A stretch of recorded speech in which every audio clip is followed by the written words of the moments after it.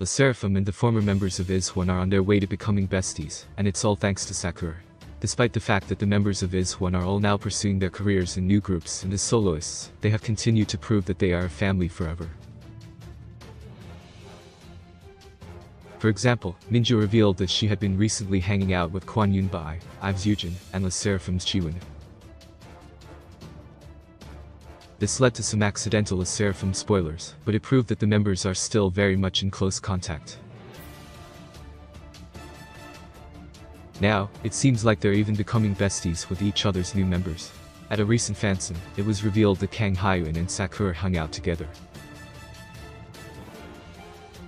Not only that, but Kang Hyewon showed some unreleased selfies with her. But they were not alone during their hangout Sakura actually took LE SSERAFIM's Kazuha with her. Since Kang Hyewon and Kazuha didn't know each other well, Kang Hyewon amusingly assumed at first that Kazuha was the same age as her. Sakura had to inform her that Kazuha is actually younger, after which Kang Hyewon adorably apologized.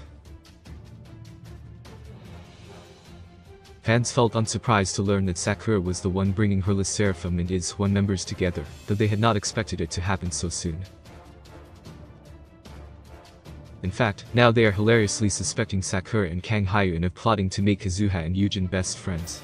Seeing the members of all three groups be good friends would definitely be exciting, especially because it would say a lot about the strong bond between the IZ*ONE members. Hopefully, Kazuha's new friendship with Kang Hyewon courtesy of Sakura is only the start of something new. For more on recent IZ*ONE and LE SSERAFIM interactions, read right here.